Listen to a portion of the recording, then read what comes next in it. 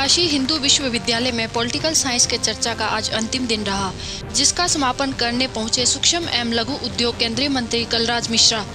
कलराज मिश्रा ने इस दौरान मीडिया से बात करते हुए पीएम नरेंद्र मोदी के उस बयान पर सफ़ाई दी, जिसमें नरेंद्र मोदी ने कहा था कि धर्म के आधार पर आरक्षण दी जाएगी। जिसमें कलराज मिश्रा ने कहा कि संवैधानिक दृष्टि से कहीं भी धर्म के आधार पर आरक्षण की व्यवस्था नहीं है। पीएम ने वही कहा है, जो अतिभाषा का प्रयोग कर रहे हैं, वो गलत कर रहे हैं। महागठबंधन के नेतागण वोट के लिए ऐसी बातें कर रहे हैं।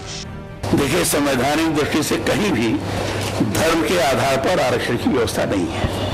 प्रधानमंत्री जी ने वही कहा। और जो बाकी के लोग इस बात की भाषा का प्रयोग कर रहे हैं वो गलत कर रहे हैं। संविधान में धर्म के आधार पर कहीं भी आरक्षण की व्यवस्था नहीं है। वही अलगाववादी नेता पर कहा कि अलगाववादी नेता अलगाव करने का ही काम करेंगे।